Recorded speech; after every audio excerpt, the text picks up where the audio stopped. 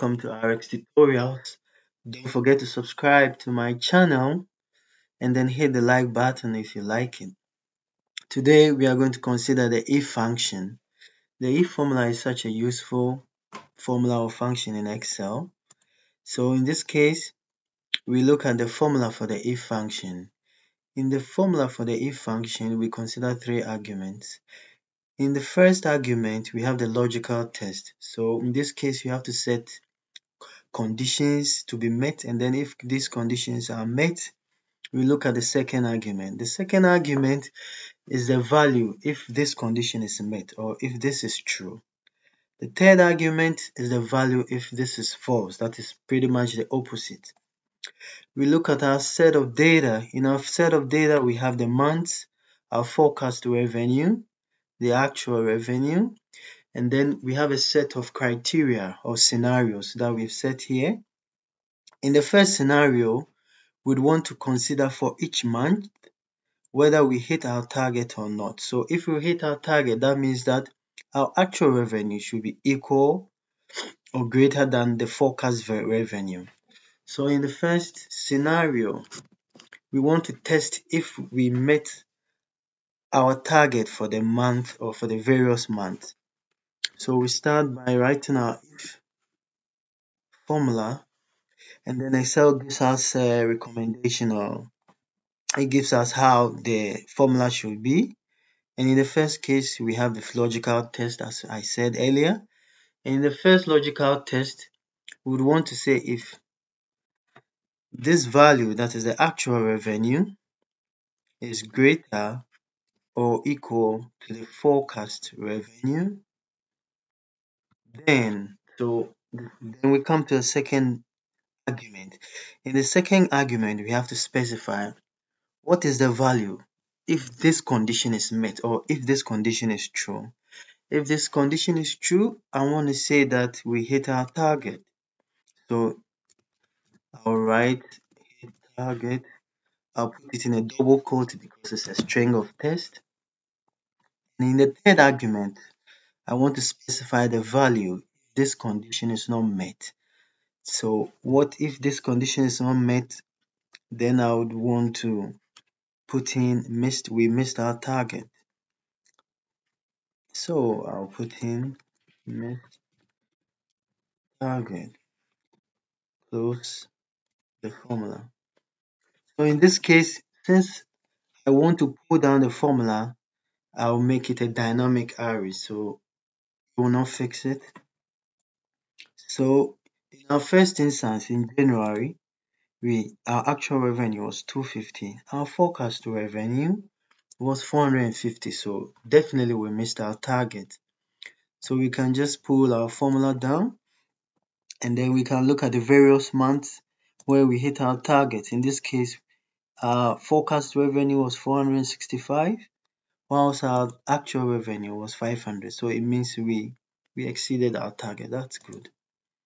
We look at the second scenario. In the second scenario I'd want to test whether if our actual revenue is greater than 400,000 then good.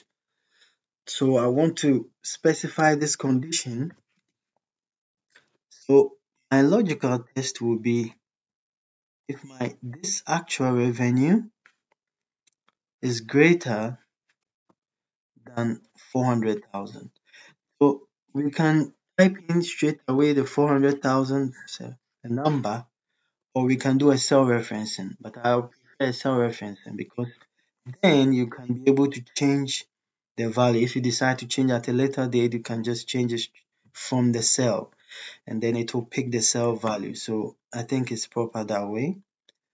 So I'll do a cell referencing, but don't forget we have to fix this because then we didn't want it to be dynamic. We didn't want it to move when we we draw our formula down. So we'll have to fix it. Head 4 to fix. And if this condition is met or if this value is true, what do we what do we want to do? So we want to specify if this condition is met, then it's good. So just in the case that we did, we can do a cell referencing or in this case, we can just type in.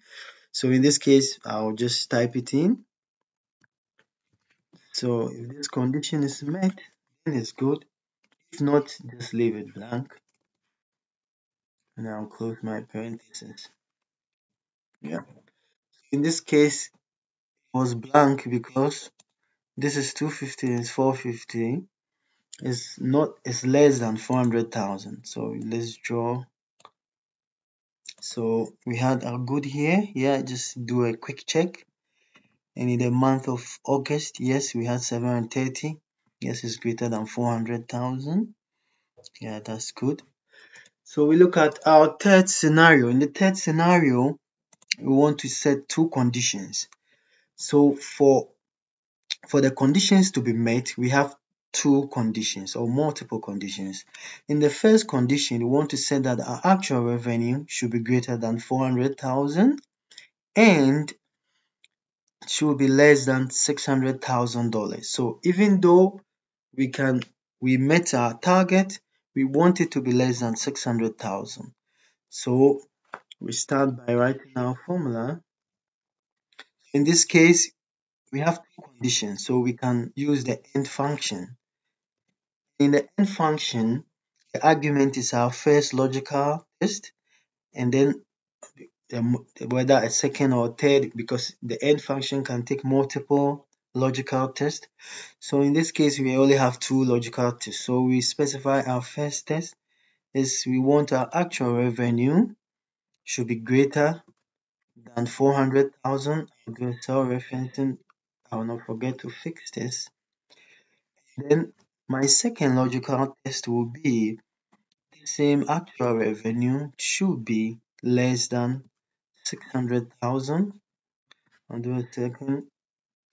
We'll fix this. So my these are my two conditions. So I can just close my AND function. Then if these conditions are met, what should be my output or what should Excel do? So if these conditions are met, I want a good. So we write good. And then if this condition is not met, the value, if this is false, then I want a blank. So yeah, let's draw this down. So we have only three. So let's check. In April, our actual revenue was 500,000 and our forecast revenue was 465. So of course it's greater than 400,000 and it's less than 600,000. We look here 450, that's our actual revenue. It was greater than 400,000 and it's less than 600,000. So if you look here, in August, our actual revenue was $730,560. But yes, of course, it, it doesn't meet the condition because it's greater than 600,000. So that's correct. We look at the fourth scenario. In the fourth scenario, we want to consider the first argument or the first condition is our actual revenue should be greater than 400,000 and less than 600,000. And then our second condition is our actual revenue should be greater or equal to 600,000. Then this is exceptional. And the rest, it means that we perform poorly. So in this case, we start with the if. And in the first, you see that the first, uh, the first part of our condition is almost is the same as our third scenario. So you can just copy or we can just repeat the same. For the benefit of that, we can just repeat the same formula. So in this case, we use the AND to specify our two conditions. The AND function, our first logical test will be the actual revenue should be greater than 400,000 and then we fix this. Then our second logical test will be the actual revenue should be less than 600,000 and then we'll fix this as well and then that is uh yeah. So we are saying that if this condition is met then good. We do a text. And then the value if it's false. So what about if these two conditions are not met? What value? I, I wouldn't want a blank, so I would want to, I'll put, because this is a nested if, I'll do a nested if. So this will be if. So in this case, I'll specify another condition. In this condition, which is here, in this condition, what I want to do is I'll say our actual revenue should be greater or equal to 600,000 and then I'll fix this and the value if this is true I would say this is a, I would say give me a sectional sectional first I would want to say is 4 and then I'll close my first. This is for the first the second one if and then I'll the first if bracket I'll do this so and then I'll run this down yeah so in the first scenario yes of course it's poor because it doesn't satisfy both halves. So let's look at the exceptional. In exceptional case, it should be greater or equal to. So yes, 700 is greater or equal to. In the 730 is also greater or equal to. And in the last or the fourth scenario or condition we want to set, we want to check whether our actual revenue is greater or equal to $500,000 or is equal to 700,000, then it's good. So in this case, we are not binding our condition to two. If satisfy or if our condition satisfy any of the two conditions that we set, either is greater or equal to 500,000 or is equal to 700,000, then it's good or it's great. So we write our formula so in this case, we'll combine the if with an or function. In this or function, you have to satisfy, you have to set our logical test. In our first logical test, we'll say that if our actual revenue is greater or equal to 500,000, let's fix this.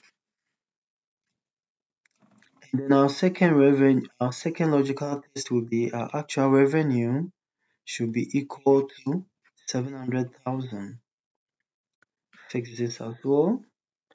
And then you close the OR function. So if any of these conditions are true, what, what will be the value? So if any of these conditions are true, we want to cell to bring to give great. If not, we'll put a blank. Yeah. So let's see so uh sorry great yeah spelling mistake. You can just put this so let's see here. So 500,000 yeah is greater or equal to 500,000 and here yes is greater or equal to 700 so we look at 390 it doesn't satisfy any of these conditions. So that is that. So in a nutshell, the if function we want to, if we want to check the if function or we want to combine the if function with AND function or the or function, then this is how we go about it. In the second part of the video, we'd want to find the various deviations or the deviations for each of the month so in this case, our deviation is going to be our actual revenue divided by our forecast revenue minus 1. So that's the deviation for the month of January. So we can just pull our formula down. So we have our various deviations for each of the month. So in the, sec in the second test or situation, Supposing management want to reward employees with a 12% increment if they exceeded their target by 8%. So we'll write an formula. And in this case, our logical test is were they able to exceed their target by 8%? So we can just write our formula in or we can do a cell referencing of this because we've already calculated. So in this case, we can just write our formula in and our deviation is going to be our actual revenue divided by our forecast revenue minus 1. So is this deviation greater than 8%? If this deviation is greater than 8%, then everyone is going to receive a 12% increment. And then supposing this, each employee receives $5,000 a month, so we can do a cell referencing here. Don't forget to fix this when, whenever you do a cell referencing. So 5,000, so they are going to receive 12% increment so this is the value if this is true. And what if they are not able to meet this target? They are not going to receive anything. Nothing. So we check this and then we can just pull this down. In this case in the month of May they exceeded their target by 15.86 percent. So for sure they qualify for this increment. So each employee is going to receive $600 that month.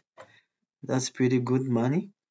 And then in July, the actual revenue was 450. The forecast revenue was 14, $413,000. So it, it means they passed, they exceeded their target by 8.95. So they received that money. So we check in this case, yes, they exceeded their target, but it was only by 2%. And then in the in the second, you know, in our last situation, we'd want to set two conditions, and these conditions are if they exceeded their target or if the deviation is greater or equal to 2% and and it's less than 7%. So same as how we went about the first. In this case, our deviation is going to be our actual divided by our forecast revenue minus 1 and but in this case we have two conditions. So we'd want to fix in or add the AND condition. And in the AND condition like we did in previous in the AND condition we have two logical tests. So if this deviation greater or equal to 2% That's our first logical test. In the second logical test, is this deviation, which is this, which is the actual divided by the forecast revenue minus 1, is this less than 7%? So we are done with our logical test for the AND function. So if this value is true, then are going to receive a 5% increment in their salaries. So they are this their $5,000 salary. So we have to fix this. So they are going to receive 5%. So the value, if this is 4, they will receive nothing.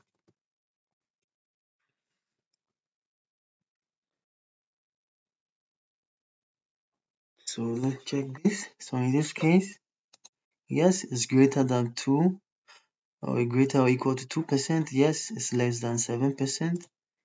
And in this case, yes, it's less than 7%. So that is that.